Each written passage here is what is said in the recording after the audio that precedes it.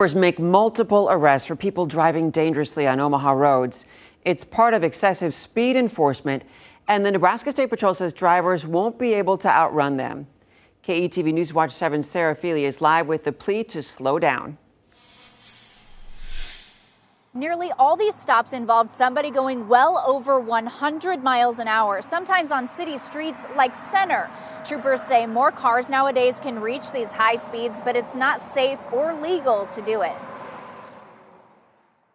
Yeah, they're all excess of 100 now. Four motorcycles tear down Blondo. Yeah, they just turned northbound on 120th. The Nebraska State Patrol helicopter tracks them from the air as troopers follow closely behind until. I'm no longer in pursuit. Airwing has it. They're already putting the public at enough risk as it is. So the air piece is critical to uh, being able to track them across the city.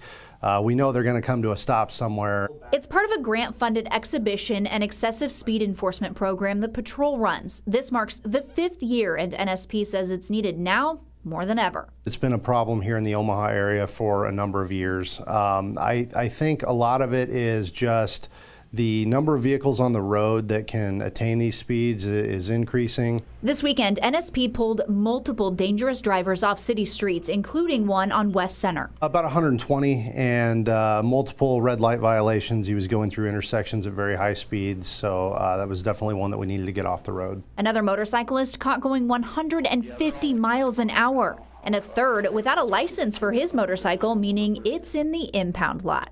These drivers facing serious charges and costly fines. We don't take pride in, in tarnishing some of these young people's records with felony charges and, and things that these lead to, but at the end of the day, this is a significant enough public safety issue that we have to be on top of it. It's going to be the one with a white shirt. Any vehicle that they hit with innocent people in it could be uh, pretty tragic results.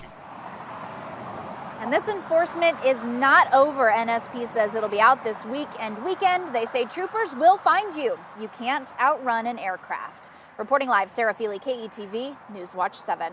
Right, Sarah.